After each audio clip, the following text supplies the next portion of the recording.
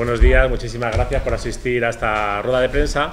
Eh, cuyo objetivo es presentar el programa de fiestas eh, de Nuestra Señora de Butarque, las principales fiestas de la ciudad que se celebran a mediados eh, de agosto. Pero antes de empezar con las fiestas de Butarque, quería comentar un par de asuntos. Ya saben ustedes que al final de la rueda de prensa atenderemos preguntas con respecto a las fiestas o, con respecto a cualquier otro tema municipal que les pueda parecer interesante. Bueno, pues quería contarles que hoy a las doce y media vamos a hacer una visita de obras al Colegio Constitución 1812. Este es un colegio público situado en el barrio de, Vereda de los Estudiantes. Eh, que está, tiene unas obras de ampliación del colegio eh, que eran necesarias para dar cobertura a la demanda de todos los niños y niñas eh, del barrio de, de Vereda de los Estudiantes y que sufre un importante retraso. Este colegio pasa de ser línea 2, es decir, de dos cursos por edad, por año, a línea 3. Eh, el proceso de, matriculación ya se ha realizado, es decir, que se, incorpora, se incrementaría en un tercio el, el, el, en un 50% se, se, incrementaría el número de niños en el colegio y las obras llevan pues, un retraso importante. La verdad que la Comunidad de Madrid licitó con tiempo las obras, el ayuntamiento también fue muy ágil en este caso para dar licencia de obras al colegio, pero la constructora lleva un retraso importante en la ejecución y va a ser imposible que el, el, colegio esté terminado eh, el 1 de septiembre, con lo cual, bueno, pues eh, hoy vamos a hacer, como decía, esa visita de obras y vamos a exigir también a la Comunidad de Madrid que busque soluciones alternativas para, para estos cientos de niños, porque hablamos de cientos de niños que no van a poder empezar el curso en el Constitución 1812 en el mes de septiembre. Eh, la visita es a las doce y media y bueno, pues si alguno de ustedes quiere eh, asistir, pues eh, no hay ningún tipo de problema. También quería contar que hemos tenido hoy Junta de Gobierno y hoy hemos eh, aprobado la subvención de los dos millones y medio al Club Deportivo Leganés. Eh, una vez que las obras han finalizado, se ha justificado convenientemente todo eh, los gastos que ha realizado el club, de acuerdo al convenio que firmamos con ellos hace meses, y una vez finalizado todos, todas las obras de, reforma, bueno, pues se, ha procedido hoy a aprobar ese esa subvención definitiva y en una semana pues, procederemos a, su, a la transferencia y al pago de este, de este dinero. Comenzamos ya con lo que tiene que ver con la programación de fiestas de Nuestra Señora de Butarque, unas fiestas importantísimas en nuestra ciudad, eh, mmm, pero que cuentan con pocos recursos. Saben ustedes que estamos en presupuestos prorrogados eh, desde hace ya muchos años, eh, que también, bueno, pues una política del ayuntamiento es intentar llevar las fiestas a todos y cada uno de los barrios de esta ciudad. El concejal, la verdad, que en ese sentido ha, ha querido bueno, pues que tengamos unas pequeñas fiestas en todos y en cada uno de los barrios para acercar las fiestas a, a muchos vecinos, bueno, pues que, que, que, no pueden disfrutar de las fiestas de agosto, bueno, porque están de vacaciones y bueno, ya que es un mes, pues el, mes, el, el principal mes de vacaciones en, en nuestro país, ¿no? Y entonces, bueno, pues él ha querido que haya fiestas en otros barrios, por tanto, bueno, pues hemos contado con menos recursos para en este año y por tanto, bueno, pues la programación se ajusta pues a esa, a esa menor disponibilidad de dinero. Yo estoy convencido que aún así va a ser unas fiestas populares, unas fiestas en las que van a disfrutar miles de vecinos y vecinas, que cuenta con todos los ingredientes necesarios eh, para que, como todos los años, para que se puedan desarrollar las fiestas, con los espectáculos taurinos y los tradicionales encierros, los conciertos para todos los gustos, orquestas en diferentes plazas de la ciudad y muchísimas actividades de, de peñas eh, que mueven pues, a cientos de, personas de nuestra ciudad y que para nosotros bueno, pues es un, auténtico orgullo contar con ellas. Las peñas son imprescindibles en las fiestas y nosotros pues, desde el principio de esta legislatura hemos querido impulsar su, su papel en las fiestas, apoyándolas en todo lo que hemos podido. Bueno, pues sin más le paso la palabra a Luis Martín de la, de la Sierra, nuestro concejal de Cultura y Festejos. Muchas gracias, señor alcalde. Buenos días a todos y agradecidos pues, por vuestra presencia en esta rueda de prensa. Eh, hoy presentamos, evidentemente, como bien ha dicho el alcalde, las fiestas de agosto 2017 en honor de nuestra patrona, la Virgen de Butarque. Y son unas fiestas importantes, son las, más fiest las fiestas más importantes de nuestra ciudad, como siempre, como debe ser. Debemos eh, festejar a nuestra patrona como se merece. Y Leganés es una ciudad de primera en fútbol, pero también en primera en muchos aspectos. Y por supuesto también queremos que así sea en fiestas, en fiestas. Es verdad que hemos tenido este año algunas dificultades y hemos tenido menos recursos que eh, años anteriores, pero aún así hemos trabajado muy duro, os lo aseguro, porque las fiestas sean lo más dignas posibles.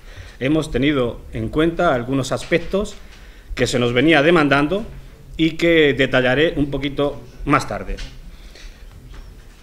Quiero decir que las fiestas oficiosas comienzan el día 5. El día 5 con la plantación y desfile de los gigantes y cabezudos a cargo de nuestra agrupación local que trae invitados a otras agrupaciones de fuera. El día 5 tienen ustedes el programa ahí. El sábado, con la plantación, comienzan oficiosamente las fiestas y luego el domingo 6 continúan por la mañana con el baile y desfile de todas esas agrupaciones. Bien, y pasamos al día 11, que será cuando comiencen oficialmente nuestras fiestas. Las fiestas se van a desarrollar entre el día 11 y el día 19. Todos los años es tradición que en Leganés las fiestas se desarrollen entre, entre el 13 y el 18. Pero este año ha coincidido que el 13 es domingo y el 18 es viernes. Con lo cual es un sinsentido que unas fiestas empiecen un domingo y acaben un viernes y no se pueda eh, ocupar un fin de semana al menos. Esto nos ha llevado a incrementar dos días más las fiestas. Por eso vamos a empezar el día 11 y vamos a acabar el sábado 19. El sábado 19.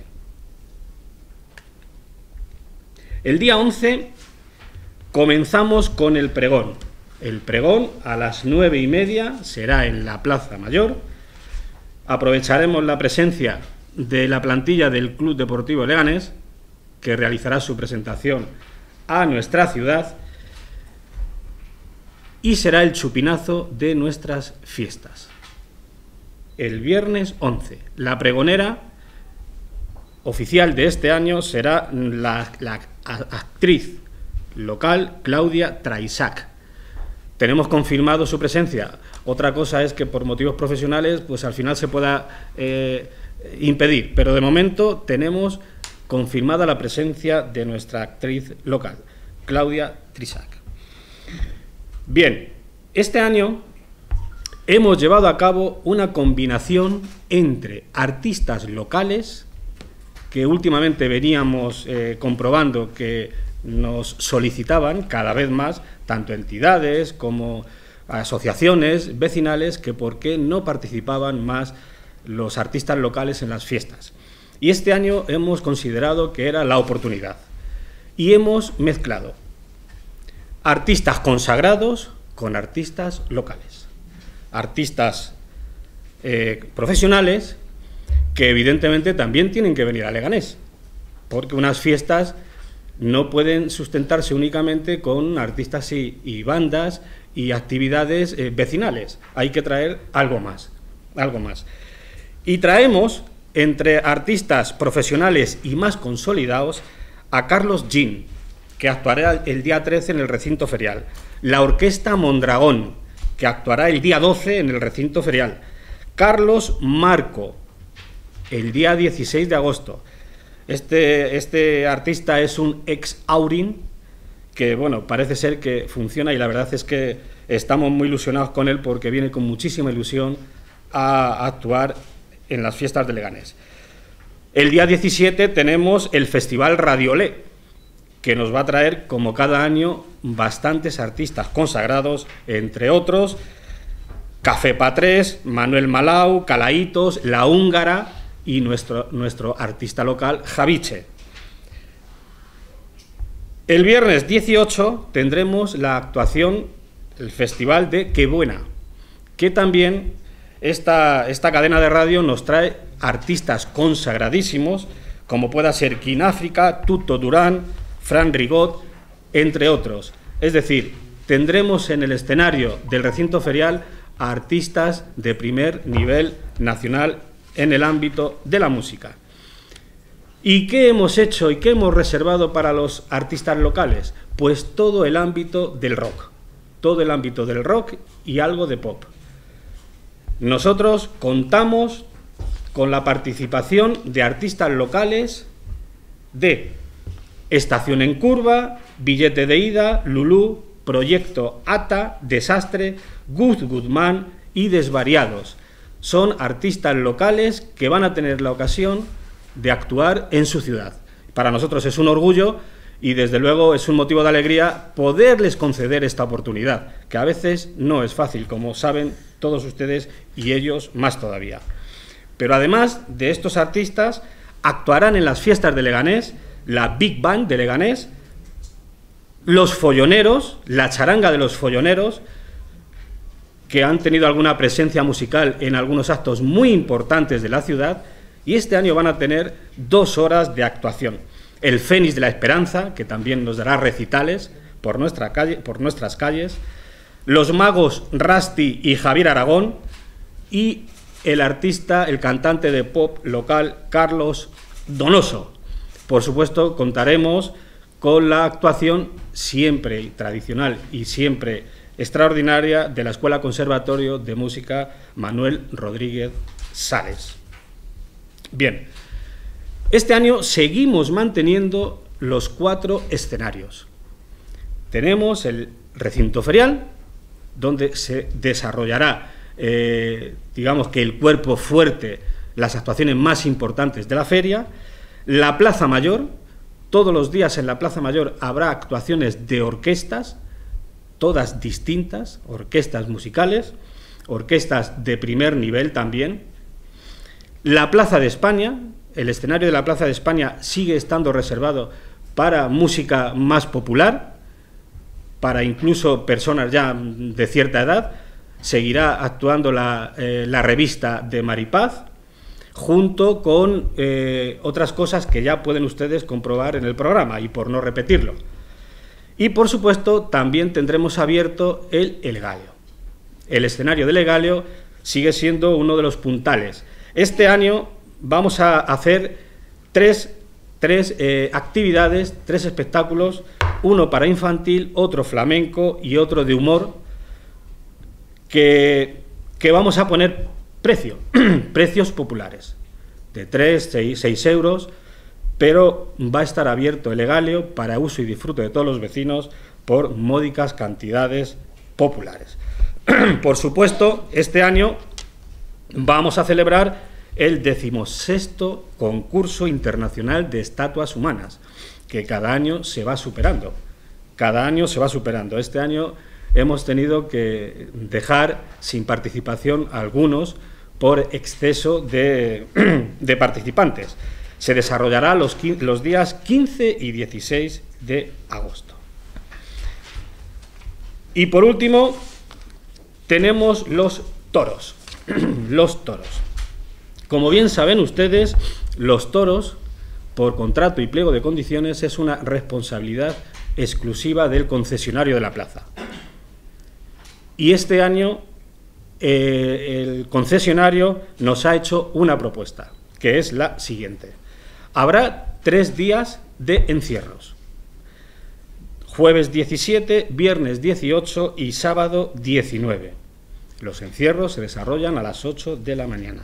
Los encierros, como no pueden ser de otra manera, son gratuitos, se corren por la manga, hasta la, el enchiqueramiento en la Plaza de Toros. Pero luego en la suelta posterior de las vaquillas, en la suelta posterior, el empresario ha establecido un abono de 5 euros para los tres días. Un abono de 5 euros para los tres días, saliendo a 1,6 por día.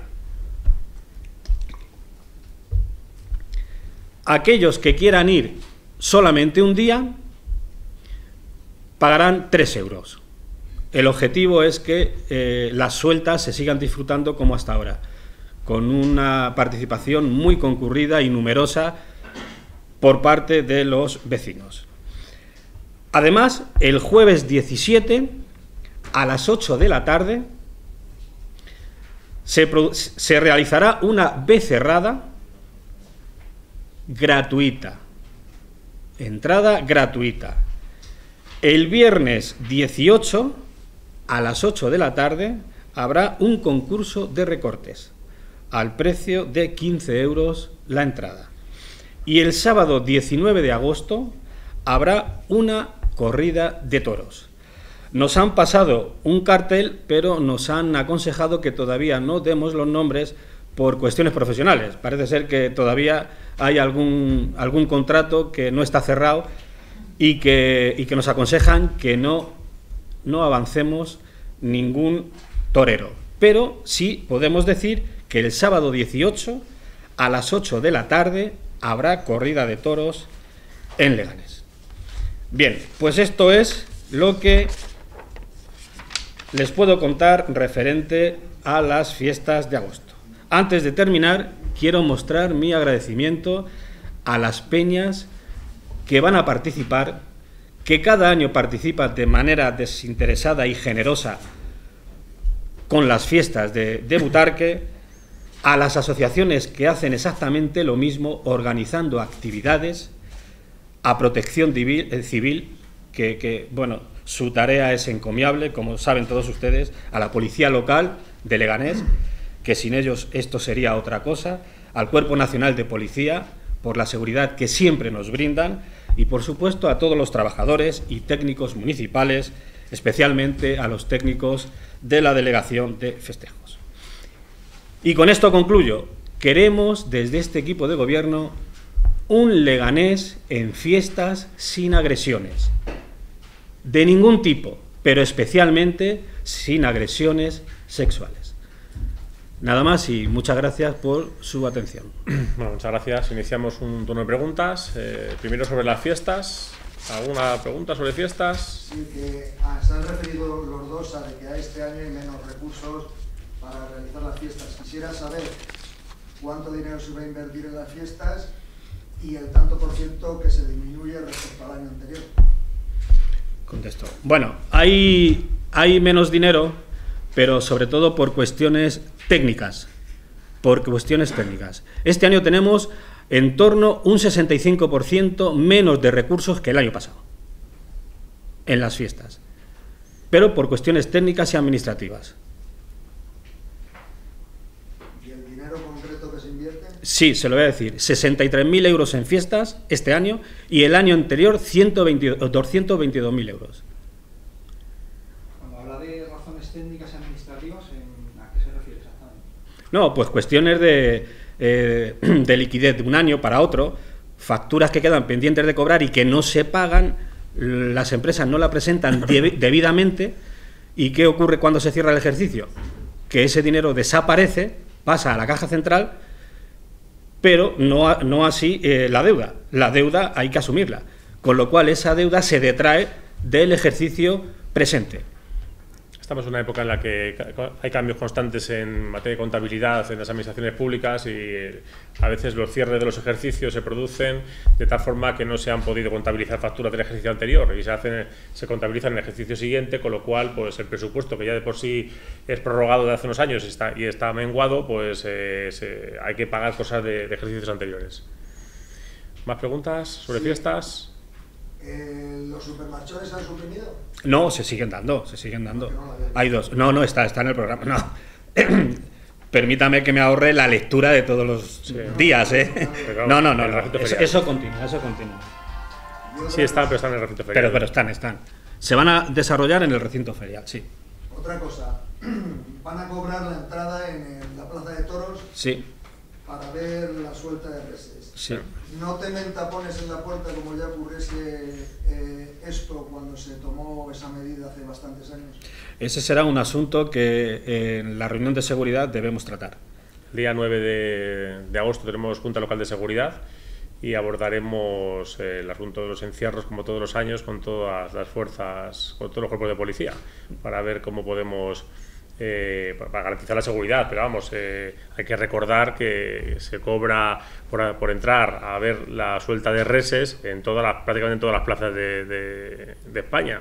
En Pamplona, San Sebastián de los Reyes, es decir, que hay eh, es algo tradicional en España y en todos estos municipios se, reduce- se realizan encierros y además con toros de mayor calibre que los que- de los que utilizamos nosotros. Juanma. A propósito del, del precio de, lo de los encierros, eh, ¿cómo valora el gobierno que por primera vez, que después de muchos años los vecinos de Leganés tendrían que pagar? Digo, tendrían, no se ve. Bueno, es que, bueno, es que vamos a ver, el- eh, en otras épocas mm, eh, digamos que se ha llegado a, acuerdos con el, con el empresario eh, diferentes bueno, pues mm, que han posibilitado el, que fueran gratuitos. En estos momentos nosotros hemos decidido no financiar ningún espectáculo taurino en el, aquí en Leganés, en la Plaza de Toros, y por tanto, bueno, pues tampoco podemos eh, apretar a, una empresa hasta el punto de asfixiarle. Es decir, el pliego de condiciones lo que dice textualmente es que los encierros deben ser gratis y los encierros son gratuitos, evidentemente. Entonces, bueno, pues el empresario ha decidido volver a, algo que era habitual en los encierros en Leganés, es decir, en los 20 años de la Plaza de Toros, la mayor parte de ellos se ha cobrado entrada por ver la suelta de reses, es decir, hay menos años... Eh, en los que esto no se ha producido que en los que sí que se cobraba. Y por tanto, bueno, pues volvemos a una, a una situación en la que hay un, se intenta buscar un equilibrio de tal forma que, bueno, pues que eh, se puedan realizar los espectáculos taurinos con una pequeña aportación de, de aquellas personas que quieren ir a verlos. Bueno, perdona, cuando dice eh, hemos decidido no financiar espectáculos taurinos, ¿se refiere a la decisión del Pleno del último Pleno? No, no, no, no. ¿O al Gobierno? Al Gobierno, al Gobierno. Al Gobierno. Sí, vamos, el, el prensa aprobó una moción, eh, pero luego el gobierno, pues en función de los recursos que tiene y de las posibilidades que tiene, pues, eh, eh, pues las puede cumplir con mayor celeridad o no. En cualquier caso, es una decisión del gobierno desde hace ya muchísimo tiempo. Es decir, hace ya, no recuerdo cuánto, muchísimos meses, que yo más de un año en que, en que el gobierno no ha financiado ningún espectáculo taurino en la ciudad. No porque eh, no queramos, sino eh, porque no tenemos recursos para poder abordar ese tipo, eh, para poder subvencionar ese tipo de espectáculos. los recursos son limitados y preferimos, bueno, pues dedicar el dinero a otras cosas.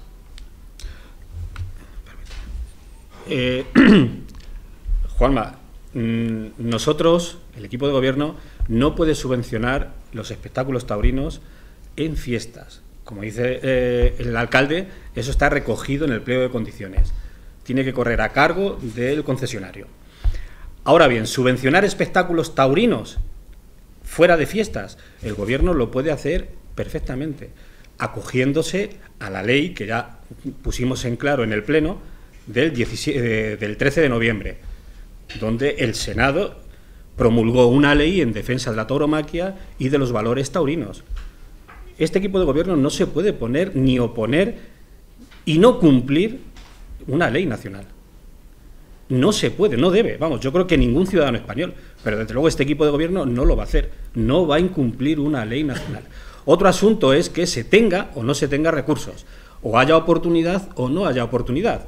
Quiero decir, que venga un promotor y nos diga, ¿os interesa que le gane Toré José Tomás? Por supuesto que diremos que sí, claro. Esto será aparte, no tiene que ver nada con la decisión del Pleno. Y por supuesto, eh, tú eh, bien sabes tú, como vecino de Leganés que eres, que se han cobrado, se han cobrado encierros durante muchísimos años, bastantes años. No ha pasado nada en absoluto. Lo que ocurre es que, bueno, este año, en fin, pues las circunstancias son las que son y el señor empresario ha decidido, ha decidido poner este precio. No nos parece abusivo, ni muchísimo menos, pero bueno, habrá que acatarlo. ¿El cambio de fecha de los encierros? Sí, el cambio de fecha se, se, da porque, por lo que he dicho anteriormente, para poder coger el fin de semana del día 19, porque no podíamos acabar los encierros un viernes también. O sea, empezar la fiesta es un domingo y terminar un viernes nos parecía un poco violento. Además, hay muchísimos ciudadanos que trabajan esos días y el hecho de retrasarlo un día está bien para posibilitar que el sábado pues, puedan participar por personas que habitualmente trabajan en el resto de los días y por lo menos que puedan disfrutar de uno de los encierros durante el fin de semana. Exacto. ¿Más preguntas sobre fiestas? ¿No? Pues sobre otros, sobre otros asuntos. Con respecto a lo que ha comentado el alcalde de la subvención de la aprobación de la Junta de Gobierno quiere decir que, que tiene todos los parabienes de intervención, etcétera. Exactamente. ¿Por, ¿Por, valor de cuánto ha sido finalmente? Dos millones y medio, exacto, sí. El, el, Club Deportivo Leganés ha realizado obras por in, un importe superior. Eh, nosotros eh, mm, íbamos a, su, a, subvencionar el 70%, el 80% de, la, de, esas obras. Eh, al final ha sido un porcentaje menor porque las obras han sido más cuantiosas de las esperadas inicialmente, pero como el tope autorizado en el pleno era de dos millones y medio, pues es al final lo que, lo que hemos subvencionado. Al final hemos acabado subvencionando en torno al 70% de las obras y que evidentemente habéis aprobado hoy en, el, en Junta de Gobierno es que está eh, completamente justificada la subvención con todos los proyectos de obra eh, visados por los colegios eh, profesionales correspondientes, de arquitectos e ingenieros. Todas las obras se han realizado a juicio de los técnicos municipales de forma correcta. Están ejecutadas por parte de la intervención de este ayuntamiento, todas las facturas son legales y cumple con todos los requisitos eh, contables que exige la ley y por tanto bueno pues hoy se ha, podido, se ha producido la aprobación eh, en la Junta de Gobierno. Respecto a las otras obras que se están llevando en la instalación deportiva Butarque, ¿cuáles son las que se están realizando? ¿Tienen todos los permisos del ayuntamiento? ¿Esas las van a subvencionar? ¿Cómo está no hay ninguna subvención. Ellos tienen, el club tiene cedido los campos 1, 2 y 3 de la instalación deportiva Butarque y eh, lo que les hemos autorizado es eh, a, realizar actuaciones de adecuación de, esas instalaciones. Y en cualquier caso a que los, eh, los elementos constructivos no sean fijos. Y en ese sentido, bueno, pues todo, como habrán visto, se ve desde fuera, todo lo que son las, las construcciones que se están realizando para, para el Club Deportivo Leganés son modulares de tal forma que se pueden levantar, pues igual que se han puesto, vienen, son modulares, son bueno, pues construcciones modulares eh, de las típicas que se ven en las obras, eh, que van uniéndose unas a otras y que igual que se ponen, se quitan. Y en ese sentido, bueno, pues se cumple con, con el convenio que tenemos establecido con ellos. Pero se ha abierto otra puerta, se va a abrir, ¿no? Sí, sí, se ha abierto una puerta, sí. Sí, se ha abierto, o sea, bueno, de hecho se han, se, abierto, se han abierto dos nuevos, se van a abrir dos nuevos accesos diferentes lo que ocupa lo que ocupa el Club Deportivo Leganés es como la mitad de la instalación aproximadamente y la instalación solo tenía una puerta y desde esa, puerta, desde esa puerta era más complicado llegar a, la, a, lo que van a utilizar en el futuro y se han, se han, abierto un par de, se ha abierto un par de, de nuevos accesos. Sí, es una pregunta impertinente. esa obra de, la, de los accesos se ha hecho con permiso. La obra, no, la obra de la. nuevos accesos, digo. Eh, de, los dos, de los dos nuevos accesos hay uno que no, no tiene obra, que es desde un camino, el, el, camino que solo se va, ese camino, esa, entrada solo se va a utilizar si tuviese que entrar un autobús o un camión de, servicios, es decir, prácticamente no, se va a utilizar, y la, y la obra de acceso desde desde lo que es la ronda norte, esa la está, la ejecutando el ayuntamiento, lo que es la modificación de las aceras y el, acceso a, la, instalación deportiva. Eh, lo que está haciendo el club es de puerta de, valla de la, valla hacia adentro. El club está haciendo eh, esas actuaciones eh, con la con financiación 100% de ellos. O sea, el, ayuntamiento no está poniendo un céntimo. Nosotros lo que hemos hecho es pues eliminar un trozo de acera y hormigonar lo que es la entrada mm, al acceso de la instalación sea, de, valla, de la valla hacia afuera el ayuntamiento, de la valla hacia adentro el Club Deportivo Leganés. ¿Y la valla que la paga? La valla Club Deportivo Leganés. ¿No tenéis ninguna pregunta Sí, con respecto a las obras de 1812, mm, con ese panorama, ¿se entiende que los niños eh, empezarán en barracones o serán desplazados a otro colegio? Pues no sabemos, es que es una cosa que estamos ahora mismo viéndolo con la Comunidad de Madrid. Hace dos semanas eh, una, primera visita, una visita de obra, en donde pues, la Comunidad de Madrid eh, estableció bueno, pues unos, eh, unos hitos en el proceso de, construcción que no están cumpliendo y nos dijo que, bueno, que iban a intentar llegar a, a los primeros días del mes de septiembre. Pero vamos, eh, la celeridad que la Comunidad de Madrid había eh, prometido, pues la, constructora no la está ejecutando y por tanto, pues evidentemente, vamos, eh, se ve claramente que es imposible llegar en el mes y pocos días se quedan al principio de curso. Entonces, bueno, pues hay que ver con la Comunidad de Madrid cuál es la solución que se plantea. Ya digo que, que mm, se está construyendo nueve, nueve nuevas aulas, así que multiplicado por veintipico niños en cada aula, estamos hablando pues de casi 300 niños. Entonces, eh, son muchos barracones eh, y en cualquier caso, pues eh, allí junto a ese colegio no hay, ningún otro y habría que establecer si, si tienen que empezar en otro colegio, pues un transporte alternativo o autobuses o a ver cómo se podría hacer. Es verdad que en Leganés hay colegios que podrían asumir eh, estas aulas de forma provisional, pero en cualquier caso pues estamos esperando un poco a ver cuál es la solución que nos plantea la Comunidad de Madrid. Nosotros lo que queremos es eh, presionar a la Comunidad de Madrid para hacerles conscientes de que es imposible mm, que las obras se, se acaben en plazo y que por tanto hay que poner encima de la mesa ya cuál va a ser las soluciones para estos, estas semanas, esperemos, eh, que va a haber hasta la finalización de las obras. Solo quería una última cosa. Sí. Eh, sobre la polémica de los contenedores, que habiendo muchas quejas vecinales, si el ayuntamiento se ha planteado ya hacer alguna modificación en los mismos, poner los pedales que están Bueno, en principio no. Eh, los contenedores son los que vienen recogidos en, un pliego de condiciones. Eh, este es un pliego de condiciones del año 2013 eh, que nosotros pues, hemos heredado, pues igual que el anterior gobierno heredó cosas de los anteriores gobiernos y que establecía un modelo de contenedor que no tenía pedal. Entonces, bueno, pues lo, que hemos, lo que ha hecho la empresa concesionaria es eh, instalar los contenedores que tenían que tenían en contrato y estos contenedores vienen, vienen sin pedal. Eh, pero vamos, eh, es cierto que, el, bueno, pues que el, ayuntamiento podría instalarlos ahora, coger una partida económica, instalarlos, pero también tendríamos que instalar con pedales en los buzones de Leganés Norte, Zarza Quemada, eh, pedales en los contenedores amarillos, es decir, yo creo que, bueno, pues eh, siendo una, algo que, que, bueno, que, que hubiese estado bien si se hubiese planificado en los años 2012-2013, cuando se realizó el anterior el contrato, que está todavía vigente, bueno, pues es una cosa que yo creo que, bueno, pues, eh, mm, bueno, pues habrá que madurar el coste y, y, eh, y si es una urgencia para la ciudad. Eh, ya hemos dicho, pues, en numerosas ocasiones que, bueno, que para nosotros es más importante un arreglo en un colegio que otras muchas cosas.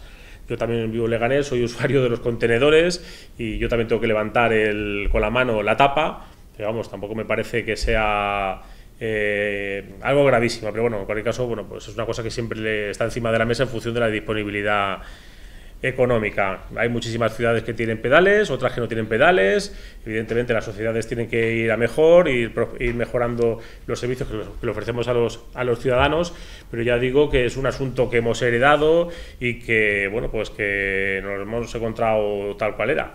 Eh, me imagino pues, que en el futuro cuando se instalen nuevos contenedores pues, y los tenga que comprar el ayuntamiento directamente, pues se pedirán con, con pedales. Le quería preguntar su valoración. Yo sé que no es muy amigo de criticar a lo anterior, pero la defensa semántica que ha hecho el gobierno anterior es que en el pliego no decía que no tuviesen que tener contenedor, o sea, que no tuviesen que tener pedal. Bueno, el, problema, de hecho, es que no decía ni que tuviese que tener tapa. O sea, era, eh, se pedía un modelo básico. O sea, la, empresa adjudicataria ofreció un modelo básico. Un modelo B, hay un en, en la, había do- dos modelos entre, entre los que se ofrecían y la, la que se solicitaban. La empresa ofreció un modelo B, que era un modelo básico hasta tal punto que tenía ni tapas. Entonces, bueno, pues hablando con la, con la empresa, pues eh, dijimos, hombre, pues no, a, a la ayuntamiento le gustaría que tuviese de todo. Que fuese el, mejor contenedor posible, que tuviese tapa, que tuviese pedal y la empresa pues eh, puso tapas, a nadie, nadie concibe un contenedor sin, sin tapa, pero es que de hecho no se les elegía, no se exigía el pliego ni tapa siquiera. Entonces, bueno, pues la, la empresa puso una tapa y las tapas que vemos, incluso las tapas que hay, eh, tienen un mecanismo eh, que evita los portazos, eh, tienen un, un mecanismo eh, de retardo para que no vaya golpes, eh, pero bueno, no han querido poner ese, ese pedal, de hecho, bueno, no- es cierto que no, no se exigía y por tanto pues ha sido difícil es, mm, obligarles, imposible obligarles. ¿Alguna pregunta más? ¿No? ¿Alguno está interesado en acompañarnos luego a la visita del colegio? Doce y media. Mm. Bueno, pues muchas gracias.